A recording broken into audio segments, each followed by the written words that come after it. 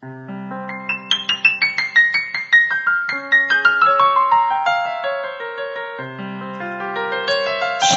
Aleichem para cada uno de ustedes. Queremos darle la bienvenida a nuestra serie sobre el libro de Zacarías impartido por el líder mesiánico Jacques Isaac Gavison.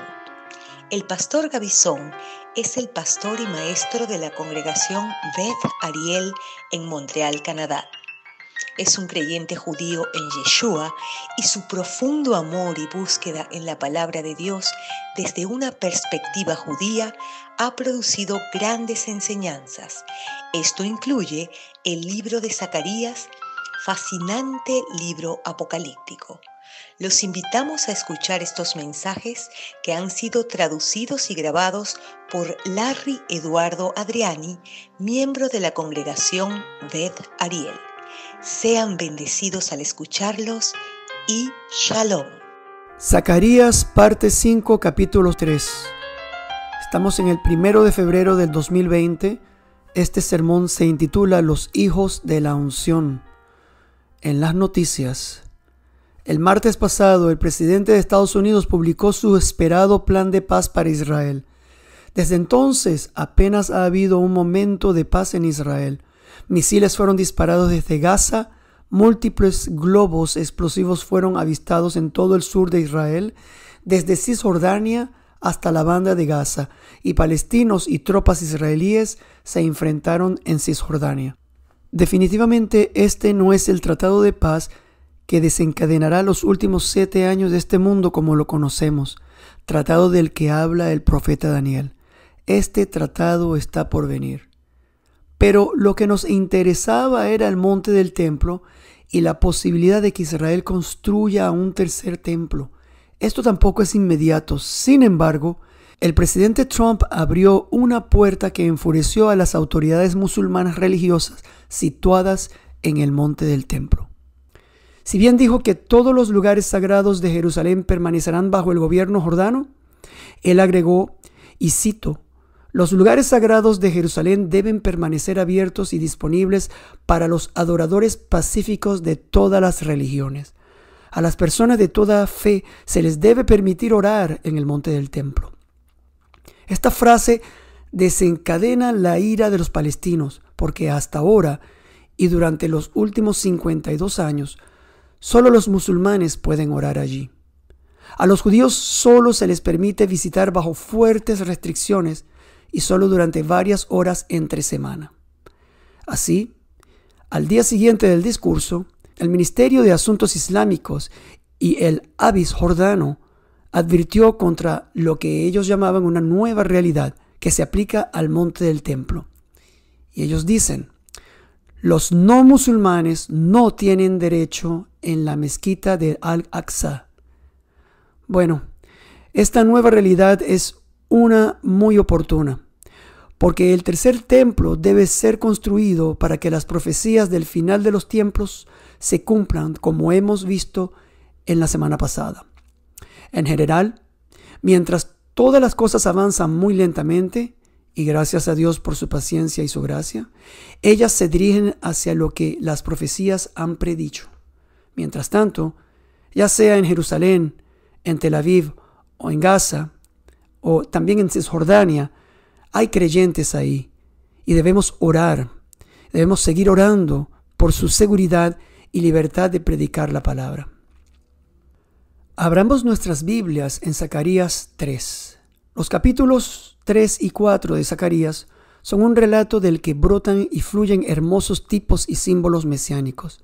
El renuevo, la piedra, el siervo, la montaña, el sumo sacerdote, el Mesías es todo esto, un renuevo, una pequeña piedra en su primera venida, y sin embargo tan poderosa y majestuosa como una montaña muy alta en su segunda venida. Y mientras tanto, ahora es nuestro sumo sacerdote, siempre cuidándonos. No se puede leer este relato de Zacarías sin preguntarse quién es el Mesías. Es tan prominente que incluso los comentadores rabínicos mencionan su nombre, una y otra vez a través del relato. Ellos lo vieron. Y allí Jehová de los ejércitos está presente de una forma única. Imagínate, está presente en toda su grandeza. Este pasaje es único en que Jehová de los ejércitos toma la iniciativa. Es aquel que introduce al profeta en la escena. Él es el que se enfrenta a Satanás. Está allí con el Mesías y tal vez con gran alivio, porque por medio del Mesías Él puede mirarnos, Él puede amarnos. Este es un texto notable y raro donde Jehová de los ejércitos participa grandemente. También está el Espíritu Santo, que continuamente une a los dos testigos, derramando sobre ellos oro. Este es el término utilizado para la unción de aceite puro que fluye milagrosamente de un olivo en el capítulo 4. El lector que está familiarizado con el Nuevo Testamento se siente como en casa en este texto, porque se parece tanto al relato de los evangelios donde el Padre, el Hijo y el Ruach HaKodesh, Espíritu Santo, trabajan como uno, en un ejad, palabra hebrea que significa uno de entre el grupo, en este caso uno de entre los tres. Y la escena nos lleva hasta el cielo, justo donde está el templo celestial, el templo real, del cual el templo terrenal es imagen, y en esta imagen se trazaron y dieron los planos a Moisés y a David. Allí vemos un elemento crucial que ilumina el lugar santo, la menora, aquí rodeada de dos olivos, uno a cada lado de la menora. Este es un gran pasaje en el capítulo 4. Zacarías reconoce la menora y a los árboles, pero no podía dar sentido a su complejidad. Describe la menora con los números perfectos, el número 7, pero mencionado tres veces, tres veces siete pero tan difíciles de visualizar en toda su belleza. Dos veces lo vemos deslumbrado por la visión y dos veces pregunta, ¿qué es? Nosotros también queremos saber qué es. Y con Zacarías están los dos testigos. Está claro desde el principio que ambos son solo símbolos, son tipos. La escena no se trata de la unción de Josué, quien ya era sumo sacerdote en ese momento ni de Zerubabel, gobernador de Judea, ya que ambos habían puesto los cimientos del segundo templo. Esto está en Edras 3.10. Y es así como en el capítulo 3 nos encontramos con el primero, Josué, el sumo sacerdote, que de alguna manera se convierte en rey, con una ropa de gala, una mitra limpia sobre su cabeza, y está tan radiante que entendemos que tipifica al Yeshua, a Jesús, al Mesías. En el capítulo 4 es Zorobabel de Judá. También se eleva tan alto contra toda oposición. También es un tipo del Mesías.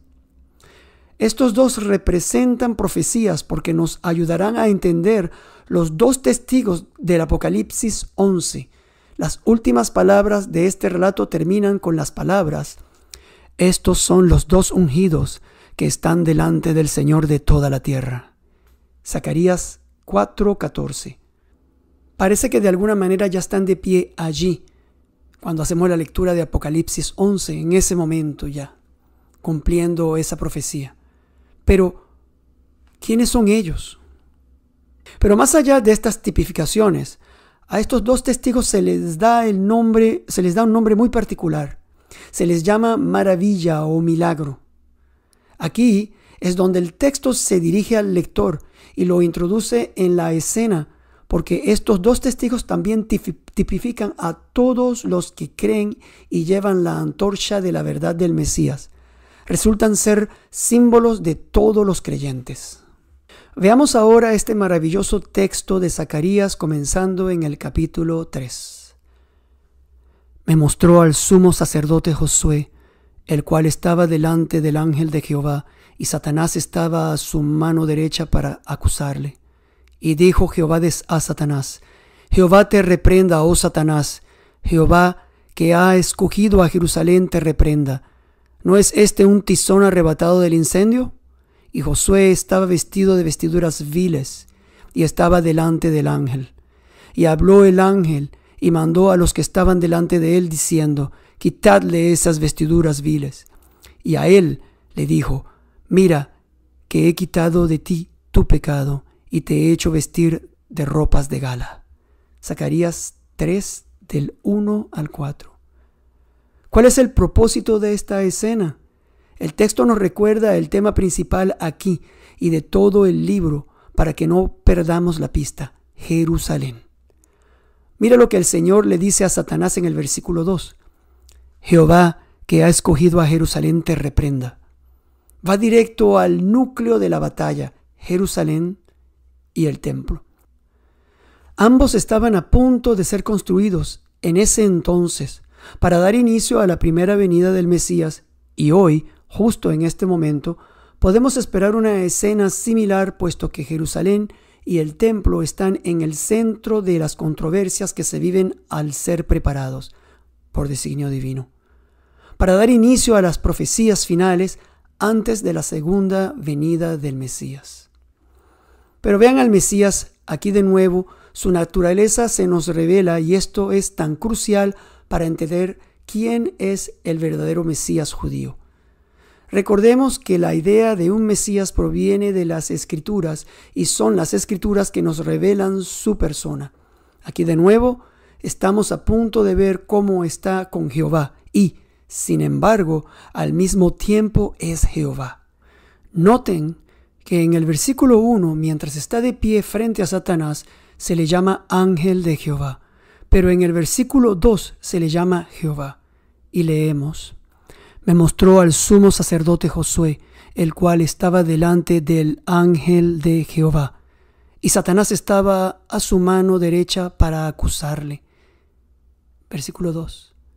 Y dijo Jehová a Satanás, Jehová te, reprenda, oh Satanás, Jehová que ha escogido a Jerusalén te reprenda. Fíjense que la tercera mención de Jehová no es una manera regular de hablar. Si fuera solamente Jehová hablando, hubiéramos esperado que el texto leyera, Yo, Jehová, te reprendo. Los rabinos que tienen todas las razones del mundo para leer este texto de otra manera, de hecho, se dieron cuenta que una pluralidad de la divinidad se describía y que el ángel de Jehová es de hecho Jehová mismo.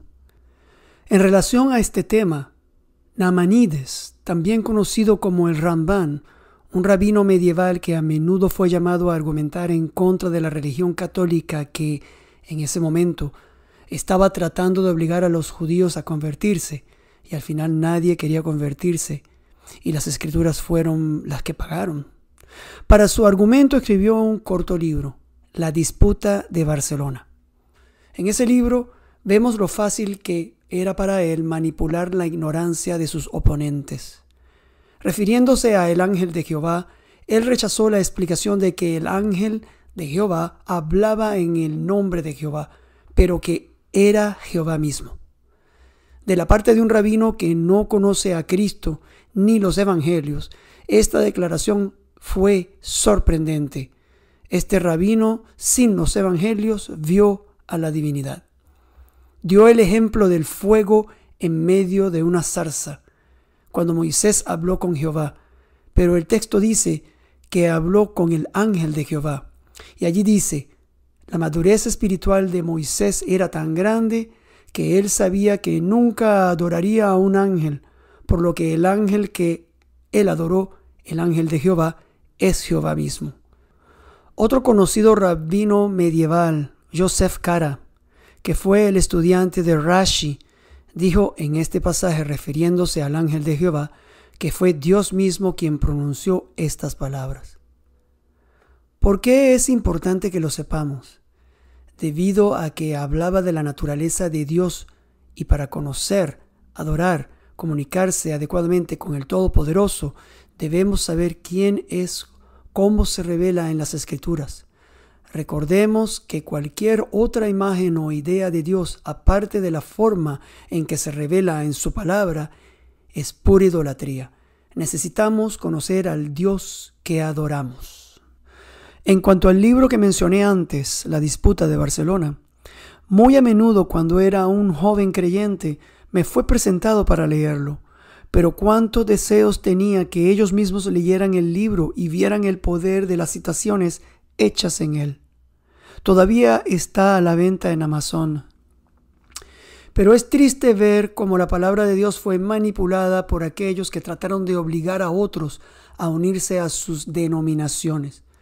En cuanto a los argumentos de Namanides, no siempre estaban en línea con la palabra, ya que él mismo se vio obligado a responder y a veces negó algunos pasajes muy claros de las escrituras con respecto a la divinidad. De regreso a Zacarías, hay algo más en estos cuatro versículos, algo que hoy nos muestra la manera y la secuencia apropiada para enfrentarse a las fuerzas del mal. ¿Has notado que el mismo Yeshua, Jesús, usa el nombre de Jehová para reprender a Satanás? ¿Por qué no lo hace él en su nombre? ¿No es el mismo Jehová? ¿Qué quiere enseñarnos aquí? ¿Qué te parece? Este texto no es solo para aquellos que dicen te reprendo Satanás o te ato Satanás, que creen que pueden luchar contra estos enormes demonios con sus propias fuerzas, pero va mucho más allá en enseñarnos cómo enfrentar estas influencias malignas, ya sea que se manifiesten a través de la persecución, la ansiedad, la tentación o cualquier mal que se nos presente. Lo que leemos aquí es reconocer nuestra debilidad y confiar en el Señor. Es para mostrarnos de mantenernos cerca de Dios y no salir de nuestro dominio hacia un reino que no conocemos. Los ángeles que conocen bien a Satanás aprendieron su lección. Lo que leemos aquí es similar a lo que aprendemos en el libro de Judas, que era tal vez el medio hermano de Jesús, no el otro Judas, el apóstol. Y así es en este libro donde se nos dice que el poderoso Miguel, el arcángel, contendió con Satanás que quería apoderarse del cuerpo de Moisés, tal vez para hacer un santuario y un lugar de idolatría. Pero noten cómo Miguel reprendió a Satanás en Judas versículo 9. Pero cuando el arcángel Miguel contendía con el diablo, disputando con él por el cuerpo de Moisés, no se atrevió a proferir juicio de maldición contra él, sino que dijo, el Señor te reprenda. Miguel, con toda su fuerza y poder, no se atrevió a traer una acusación de injuria y dijo humildemente, el Señor te reprenda. No dijo, yo te reprendo o te reprendo en nombre de Jesucristo, que es una versión más camuflada de lo mismo. Sin embargo, Miguel es más poderoso que Satanás, porque leemos en Apocalipsis capítulo 12 entre los versículos 7 y 8. Después hubo una gran batalla en el cielo. Miguel y sus ángeles luchaban contra el dragón y luchaban el dragón y sus ángeles, pero no prevalecieron ni se halló ya lugar para ellos en el cielo. Tenía el poder, pero sin embargo no se atrevió a decir nada en el versículo de Judas, nada que no fue llamado a hacer. Nosotros no tenemos el poder de Miguel, sin embargo, muchos fingen que pueden reprender al mal a través de sus propios poderes. Ahora veamos cómo Judas habla de aquellos que no respetan la jerarquía de todas las autoridades, sino que piensan en sí mismos tan fuertes, y los llama así. Soñadores, mancillan la carne, rechazan la autoridad y blasfeman de las potestades superiores. Esto está en el versículo 8. Y aparte de Miguel, si Yeshua mismo con todo su poder le pide a Jehová que lo reprenda, sigamos su ejemplo y permanezcamos bajo las alas de Dios. Y hay otro pasaje famoso que enseña con muchos detalles qué hacer cuando nos enfrentamos a todos los esquemas de los demonios que tratan de asustar y paralizar al creyente. Efesios 6. Comienza con la misma conclusión que sacamos con Zacarías y Judas. Efesios 6:10. Por lo demás, hermanos míos, Fortaleceos en el Señor y en el poder de su fuerza. En el Señor y en el poder de su fuerza, no la nuestra. Solo podemos obtenerla en Jehová. Nuestra fuerza y poder están en Él. Esa es la primera lección de la guerra espiritual. Y este texto también nos dice cómo debemos equiparnos en el Señor para luchar contra estas terribles fuerzas.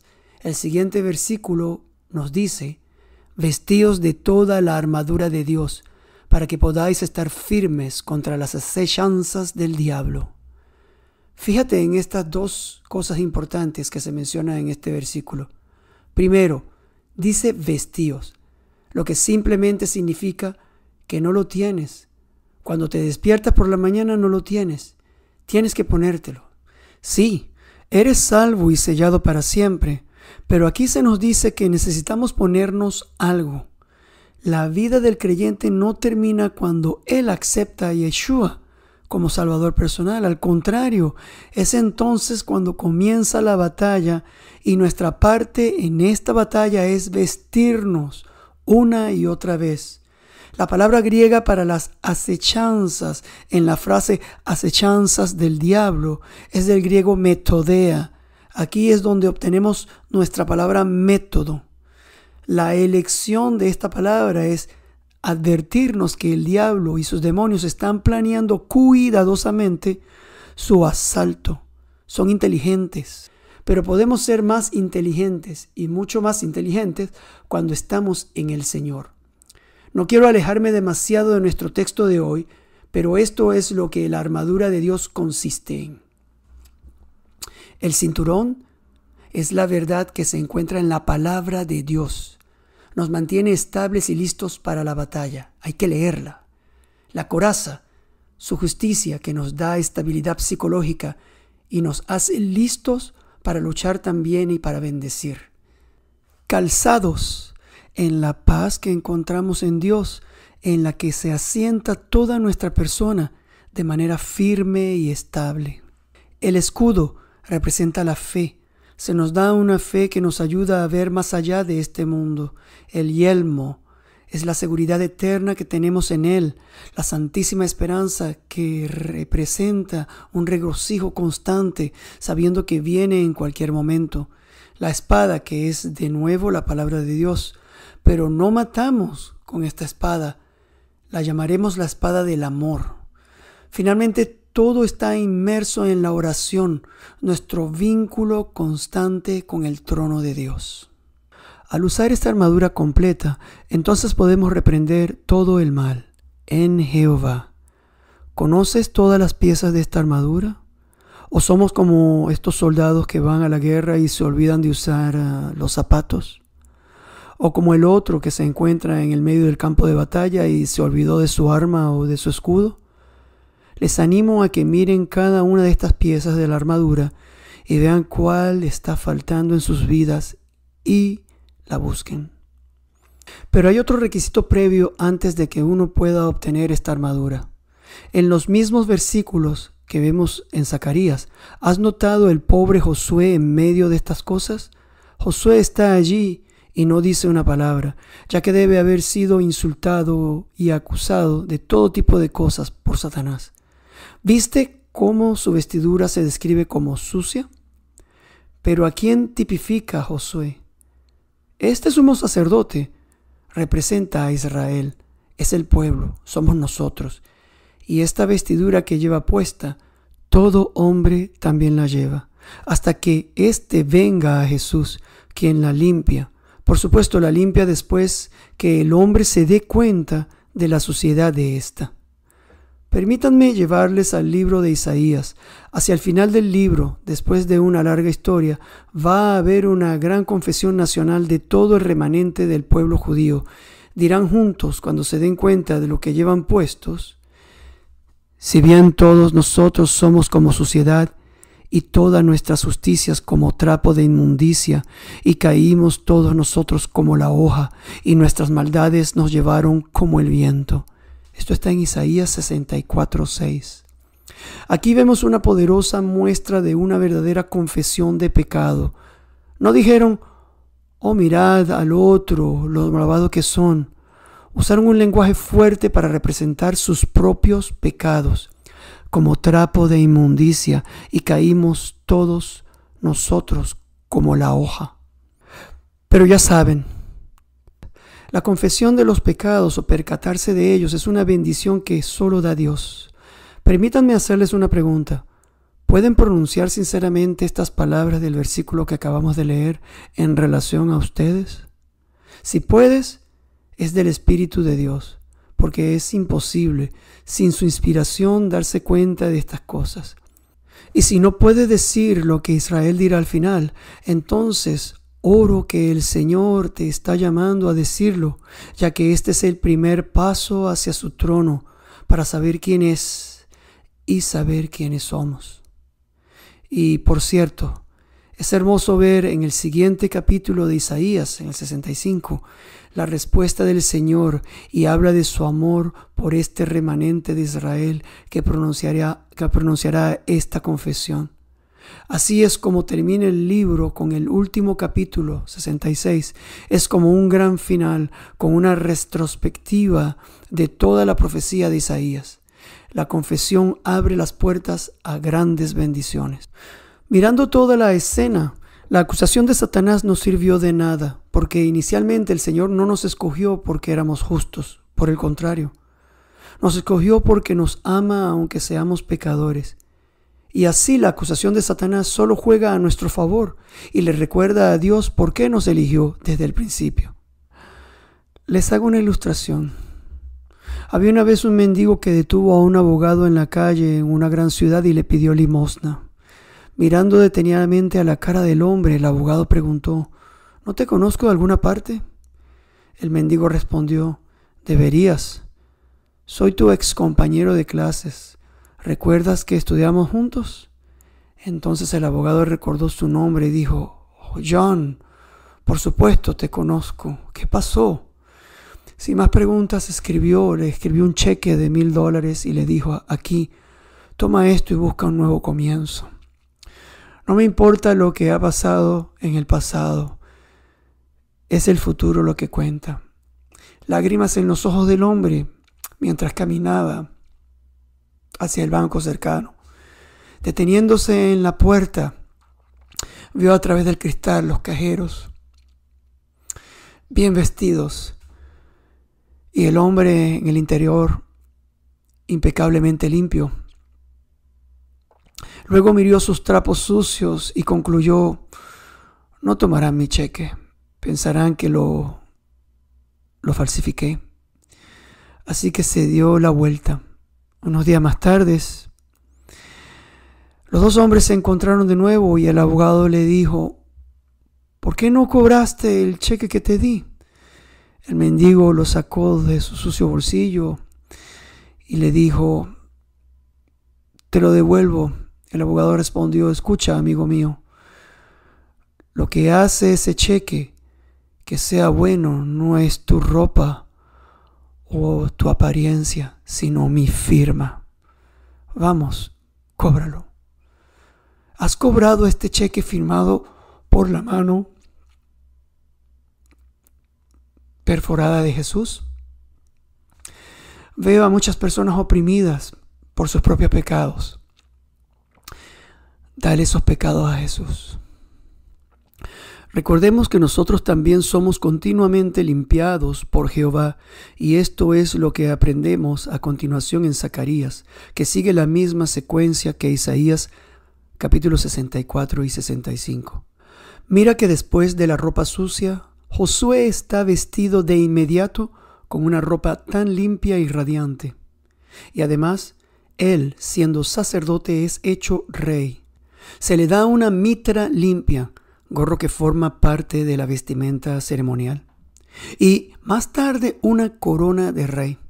Leemos en el versículo 4 el tipo de ropa que se le da, de ropas de gala. Esta palabra ropas en hebreo es mahalasa, originada de la palabra halas, que significa rescatar. Pero esta palabra tiene un significado adicional en el arameo el idioma hablado por los judíos en la época de Zacarías. Esta palabra se utilizó para descubrir pinzas que a veces son utilizadas por un carpintero para sacar un clavo o incluso esas que se utilizan para sacar un pedazo de madera del fuego. Y así significa, en arameo, redención y ropa para cubrir a alguien. Y esta imagen se ve mejor cuando se lee lo que Jehová le dice a Satanás al final del versículo 2. ¿No es este un tizón arrebatado del incendio? La palabra tizón es como un tronco de madera, un pedazo de madera sacado del fuego y salvado, en hebreo nasal. Y es entonces cuando se le da las nuevas, las nuevas ropas a Josué. Este pasaje es muy poderoso. Y luego más tarde en el capítulo 6, versículo 11, leemos que más allá de esta ropa nueva, Josué recibió una corona.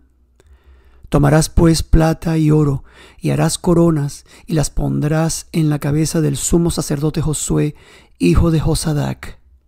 La palabra corona se describe como una diadema real en Isaías 62, 3.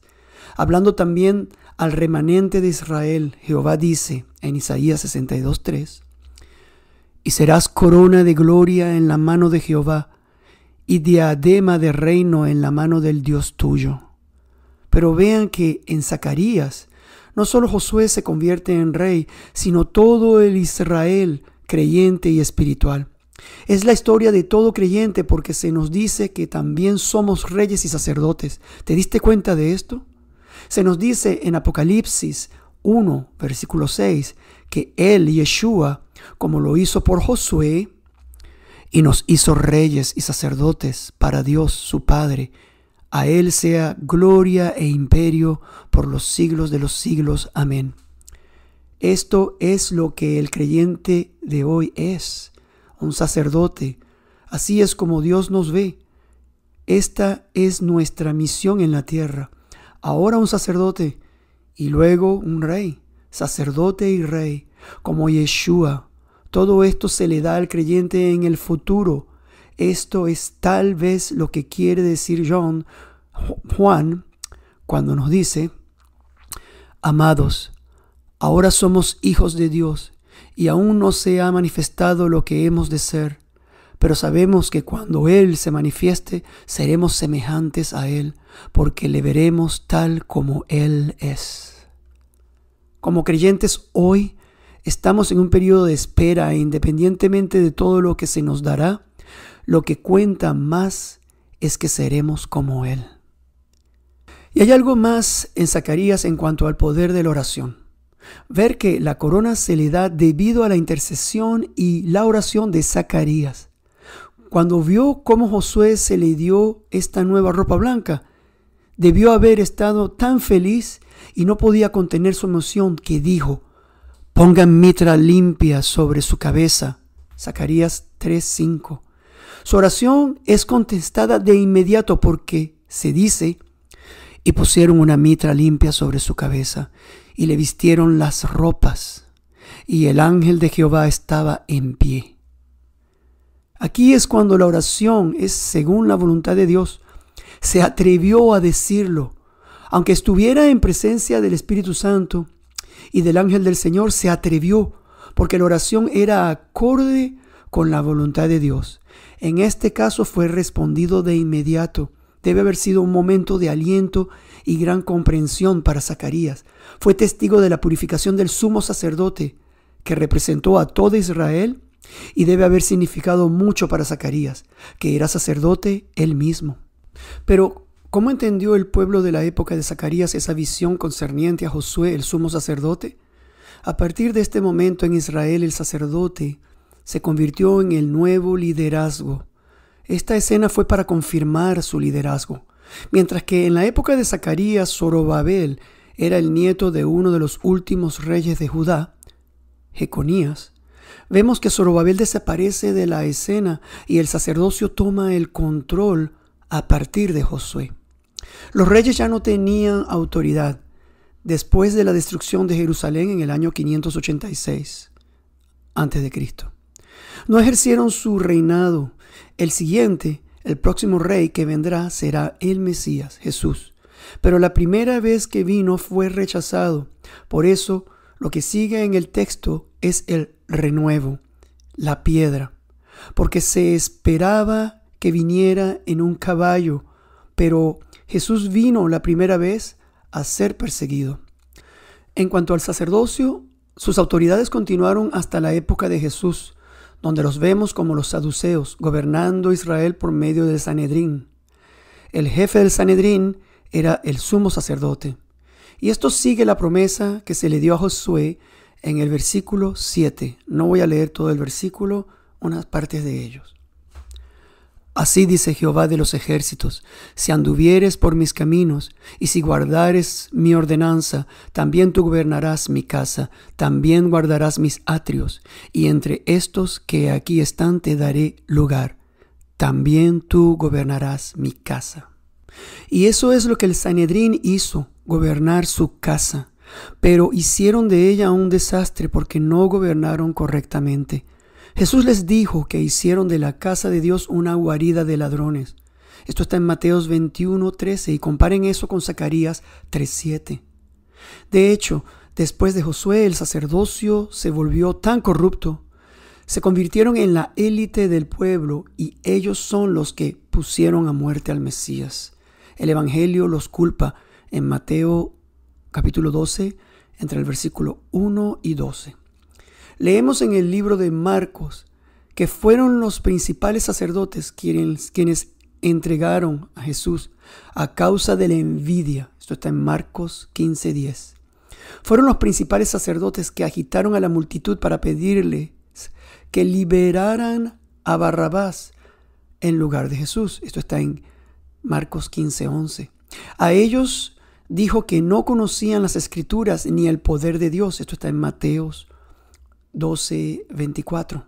Los fariseos que se alzaron en oposición a los saduceos comenzaron bien, pero como ellos, tampoco hicieron lo mejor. A ellos Jesús les dijo, a los fariseos les dijo, invalidando la palabra de Dios con vuestra tradición que habéis transmitido, y muchas cosas hacéis semejantes a estas. Esto está en Marcos 7, versículo 13. ¿Cómo es hoy? La religión del hombre se apoderó de la pura palabra de Dios de tal manera que son, tan pocos los que saben quién es Yeshua. Al final, tanto los reyes como los sacerdotes de Israel no pudieron gobernar el país. Es así que el Mesías viene a tomar el control. Y no en vano después del relato de Josué tenemos este maravilloso tipo del Mesías que se llama el renuevo y la piedra. La palabra hebrea para renuevo, tzemach, no es esas ramas sólidas de un árbol, pero es un brote, es algo frágil. Y esto habla de la primera venida del Mesías, porque cuando vino, no vino en un caballo blanco, ni vino como una gran montaña, que llenó la tierra como Daniel profetizó, sino que vino en lugar como la piedra. Y eso está escrito en Daniel 2, 35. Leamos los últimos tres versículos del capítulo 3, versículos 8 al 10. Esta es la introducción de la primera venida de Yeshua. Zacarías 3, 8 al 10. Escucha pues ahora, Josué, sumo sacerdote, tú y tus amigos que se sientan delante de ti, porque son varones simbólicos. He aquí yo traigo a mi siervo el renuevo, porque he aquí aquella piedra que puse delante de Josué, sobre esta única piedra hay siete ojos, he aquí yo grabaré su escultura, dice Jehová de los ejércitos, y quitaré el pecado de la tierra en un día. En aquel día, dice Jehová de los ejércitos, cada uno de vosotros convidará a su compañero debajo de su vid y debajo de su higuera. El renuevo, como símbolo del Mesías, es muy conocido en los escritos rabínicos, pero lamentablemente mucho menos hoy en día. Esto se debe a que hoy no se enseña en el judaísmo rabínico que el Mesías vendrá primero como un brote o como una piedra. Pero ver que Zacarías no profundiza en el renuevo, solo lo menciona, Tal vez porque deben haber estado al tanto de la identidad del Mesías, a juzgar por la importancia dada a este último en la palabra de Dios en los Targums, Los Targums eran la Biblia que ellos utilizaban en ese momento. Fueron Jeremías e Isaías quienes hablaron también del renuevo. Escuchen lo que Jeremías dice acerca del renuevo. en Jeremías 23, 5 al 6. He aquí que vienen días, dice Jehová, en que levantaré a David renuevo justo, y reinará como rey, el cual será dichoso, y hará juicio y justicia en la tierra. En sus días será salvo Judá, e Israel habitará confiado, y este será su nombre con el cual le llamarán Jehová justicia nuestra. El renuevo, un renuevo justo, y ver cuál es su nombre, Jehová justicia nuestra. Una vez más, esta es la única vez en que las cuatro letras del nombre propio de Dios, Yud, He, Va, He, se dan como nombre a otro. Sin embargo, Dios dijo en Isaías 42, 8, Yo Jehová, este es mi nombre, y a otro no daré mi gloria, ni mi alabanza a esculturas. Pero, ¿quién es este otro? Nadie más que el Mesías, que es Dios mismo. Comentaristas rabínicos en el Talmud han notado este pasaje y uno dijo que refería al Mesías. En sus días será salvo Judá, e Israel habitará confiado, y este será su nombre con el cual lo llamarán. Jehová, justicia nuestra. Jeremías 23, 6. Ellos lo vieron también. Ellos lo vieron también. Incluso en el Midrash Rabbi, ellos lo vieron también. Incluso en el Midrash Rabbah hay alguien que pregunta, ¿cuál es el nombre del Mesías? Otro respondió, Jehová. Y allí citan a Jeremías 22.6. Esto está en el Midrash Rabbah, Lamentaciones 135. Y el Targum, que es una versión de la Biblia de la época, lo dice claramente. Escuchad ahora, Josué, sumo sacerdote, tú y vuestros compañeros que os sientan delante, porque son hombres dignos que se les haga una señal, porque he aquí traeré a mi siervo, el Mesías, y él será revelado. Lo sabían. Más tarde en arameo la palabra renuevo, Semac, se convirtió en un nombre alegórico para el Mesías. Ilustración. Hay tradición que da otro nombre al Mesías. En el Rabba de Mishra dijeron que será Manashem, lo que significa consolador. Pero, ¿cómo consiguieron este nombre? Miren cómo. La razón es porque la suma del valor de las letras de la palabra Semak, Semak, hebreo de renuevo, es la misma cantidad que la suma del valor de las letras de la palabra Manachem o Manashem. Entonces dicen, ese es su nombre. El verdadero Mesías es el renuevo, y solo es creído por unos pocos y rechazado por la gran mayoría, que es una recurrencia común en la historia de Israel. Hay una conexión adicional entre Jeremías y Zacarías. Ambos conectan al Mesías con Jerusalén. Dios en Jeremías llama a Jerusalén Jehová justicia nuestra, el nombre del Mesías. Jeremías 33, 16. lee así. En aquellos días Judá será salvo y Jerusalén habitará segura y se le llamará Jehová justicia nuestra. Jerusalén, el templo son muy importantes para Jesús. Y es en el siguiente símbolo donde también podemos ver el rechazo del Mesías, como la piedra. Leemos en el versículo 9 de Zacarías 3, 9 porque he aquí aquella piedra que puse delante de Josué, sobre esta única piedra hay siete ojos, he aquí yo grabaré su escultura. Esto también es bien conocido como un símbolo mesiánico. Esta piedra se considera la piedra angular del templo y sobre ella el Señor dijo que ya ha grabado su inscripción. En esos tiempos, después de que un edificio se terminaba de construir, era costumbre decorar la piedra angular con flores y todo tipo de diseño.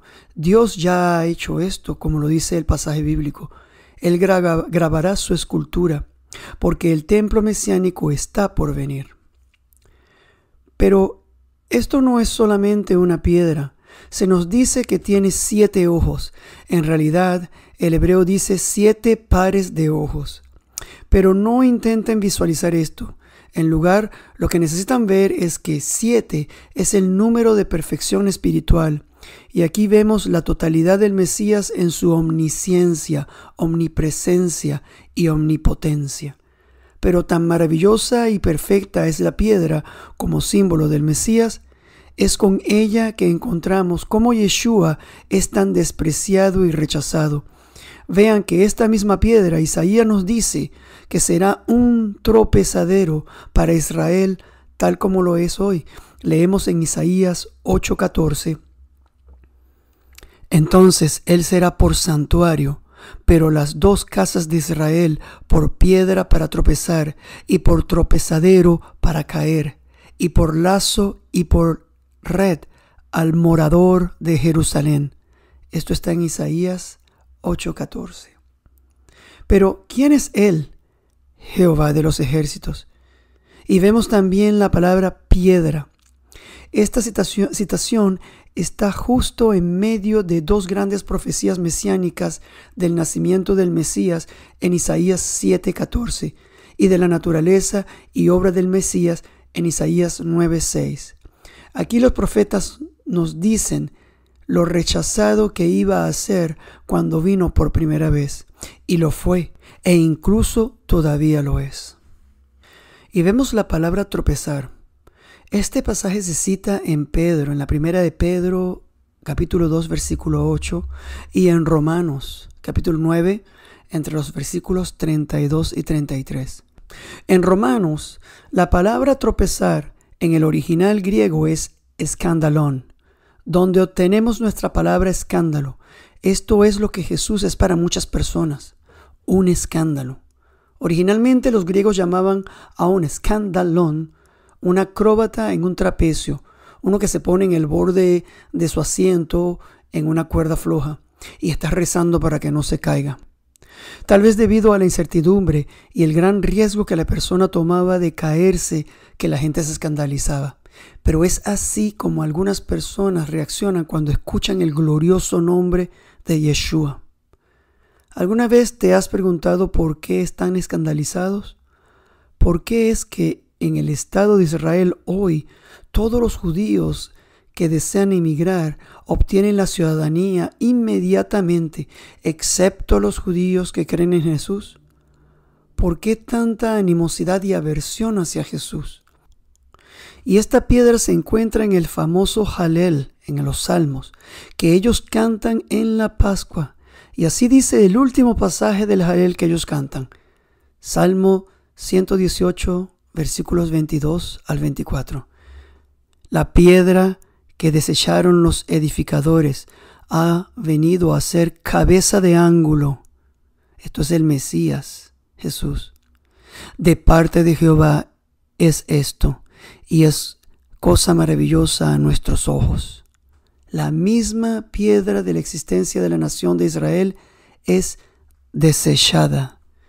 Sin embargo, dice que se ha convertido en cabeza de ángulo, porque seré muy audaz al decir que Él sostiene a Israel, es el Mesías. Lo hemos visto al principio del libro de Zacarías en la hondura, entre los árboles de mirto, cuidando de su pueblo. Esto está en Zacarías 1.8. Y concluiré sobre este pasaje del renuevo y la piedra con el siguiente versículo. Este es el día que hizo Jehová. Nos gozaremos y alegraremos en él. No importa que no les guste Jesús, no cambiará ni un ápice a las profecías que hablan de su venida. Cerraré con la forma en que el Señor nombra a los creyentes, a los que estuvieron con Josué construyendo el templo incluso en tiempos muy difíciles. Zacarías 3:8. Escucha pues ahora, Josué, sumo sacerdote, tú y tus amigos que se sientan delante de ti, porque son varones simbólicos. He aquí yo traigo a mi siervo el renuevo.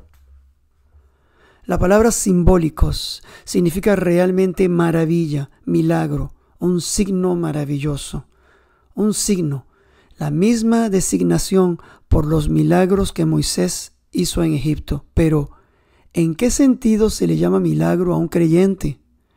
Seguramente son los milagros debido a que Dios obra cosas maravillosas a través de ellos. Tal vez sean milagros porque experimentaron el milagro más grande de la historia, su salvación. Esto es lo que el creyente es hoy. Son signos que reflejan las cosas de Dios en sus vidas. Justo como las últimas palabras de Isaías 53. Después de todo, el Cordero de Dios derramó su vida para ofrecer la vida eterna a quien quisiera tomarla. Isaías 53, 12. Por tanto, yo le daré parte con los grandes, y con los fuertes repartirá despojos, por cuanto derramó su vida hasta la muerte, y fue contado con los pecadores, habiendo él llevado el pecado de muchos, y orado por los transgresores. Los grandes, del hebreo rabim, es grande en el sentido de multitud. Esto puede muy bien llevarnos a este gran momento en el que el creyente se encontrará al final en la presencia del Mesías, donde compartirá con nosotros su riqueza, como se nos dice en Romanos 8, 17 y sí, hijos, también herederos, herederos de Dios y coherederos con Cristo. Aquí es donde dividirá su riqueza con nosotros esta multitud. Y en el mismo versículo habla de los despojos. Esta palabra se utiliza para describir los bienes que fueron adquiridos después de la batalla, después de una batalla. Y miren además cómo se nos llama en el versículo. Los fuertes repartirá despojos con los fuertes. Ese eres tú, eres fuerte en el Señor. La palabra es razón, que es poder. Así que desde Set, el tercer hijo de Adán, nos hemos convertido en la semilla del Mesías, esta multitud, los fuertes, porque están bajo el Cordero de Dios. Y al hablar de estar bajo el Cordero de Dios, les doy una ilustración. Hay un carácter chino que se pronuncia yi, y ese carácter se compone de dos caracteres, uno encima del otro. Arriba el carácter de la que representa la oveja y abajo el carácter que representa yo o yo mismo. Entonces, yo bajo un cordero. Y esa palabra, ese carácter junto, representa la palabra soy justo. Qué bonito, ¿eh? Si miramos a través de un pedazo de vidrio rojo, todo está rojo. Si miramos a través de un pedazo de vidrio azul, todo es azul. Y así sucesivamente. Cuando creemos en Jesucristo como nuestro Salvador, Dios nos mira por medio del Señor Jesucristo. Nos ve con toda la blanca santidad de su Hijo. Nuestros pecados son imputados a la cuenta de Cristo y su justicia a nuestra cuenta. Oremos. Ahora para nosotros de aquel que es y quien fue y quien ha de venir, de Yeshua HaMashiach, nuestro Mesías, que es el testigo fiel, el primogénito de entre los muertos y el gobernante de los reyes de la tierra, que Dios nos conceda tal que podamos decir como David, tú eres mi refugio, me guardarás de la angustia y me rodearás con cánticos de liberación, para que nuestro trabajo sea producido por la fe, nuestro bregar impulsado por el amor y nuestra resistencia inspirada en la esperanza y en nuestro gran poderoso Mesías. Amén. Esperamos que hayan sido bendecidos al haber escuchado este estudio de la palabra santa en el libro de Zacarías. Damos la bienvenida a las preguntas que tengan con respecto a este tema o cualquier otra consulta bíblica. Puede ponerse en contacto con nosotros a través de nuestro correo electrónico vedariel.hispanos.gmail.com y nos pondremos en contacto con usted tan pronto como sea posible. Por favor, Oren por este ministerio mientras avanzamos juntos en estos días postreros, declarando en voz alta para hacer que la palabra sea escuchada y ser diligentes al obedecerla. Bendiciones en nombre de nuestro Mesías Yeshua. Shalom, shalom.